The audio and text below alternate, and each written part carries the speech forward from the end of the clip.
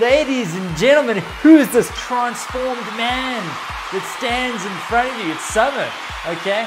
Sun's out, guns out, ladies and gents. Also, a new little uh, addition to the Hardwood Kitchens, the grill. Dave loves his coffee. I'm a bit of a coffee snob, but that's not why we're here, ladies and gents. We're here because of a very special, smaller motherboard. It's the beautiful MAG B550M mortar. For those that don't know what a mortar is, it's a tiny little rocket. It goes into a cylindrical tube that usually shoot up into the air and decimate your enemies from afar. It's one of the dirtiest tricks in any army's arsenal. Some might even say cowardice. I call it genius. Why? Why get in the front lines taking bullets and you can just mortar their asses back to oblivion? That's how I jam. I think we all know Dave's the kind of guy that'll shoot an unarmed man in the back. I say unarmed? Cut that out.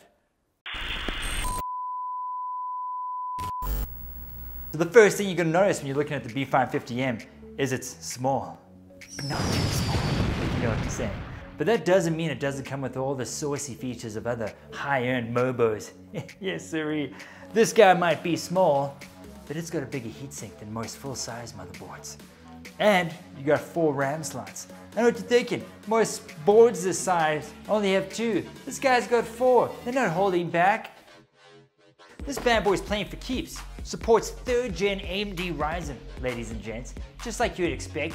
One of the many features on the hood is obviously a built-in I.O. shield. You gotta have it. As well as 2.5 gig LAN. Boom! It's got it. But it's also got that sweet Lightning Gen 4 solution.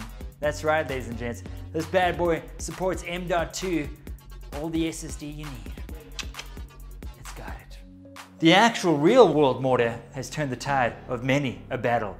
Even when the odds aren't in your favor, you can rely on a trusty, well-placed mortar to blow a hole right through your enemy's lines. With the B550M mortar, it's gonna blow a hole through anything you put it up against. It's a fantastic little microboard that's not gonna break the bank, ladies and gents, all right?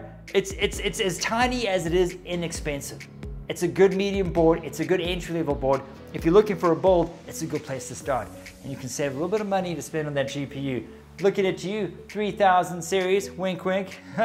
well, maybe, maybe you can. Maybe you can afford one if you go for a reasonable board like the B550M mortar that is. It's a great board, it's a sexy board, and it's a small board. And we all know what they say about small things, okay? They usually have a lot of power.